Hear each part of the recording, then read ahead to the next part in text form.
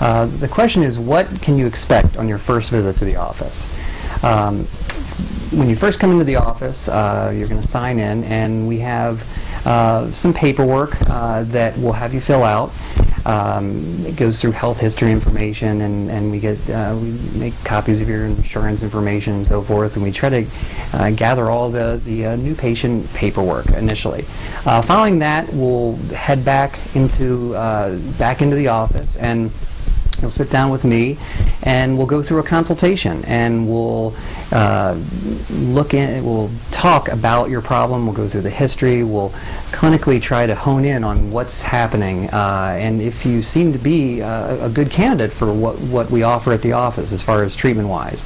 Uh, we'll also go through a, a thorough uh, examination uh, to diagnose what exactly is uh, is is happening uh, and, and causing you uh, discomfort or pain.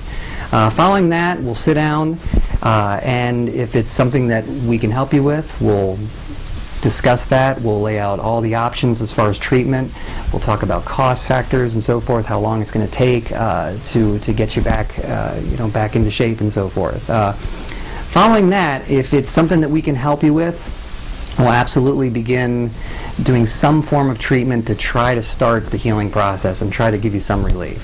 So uh, that's uh, what would happen on the first visit at my office.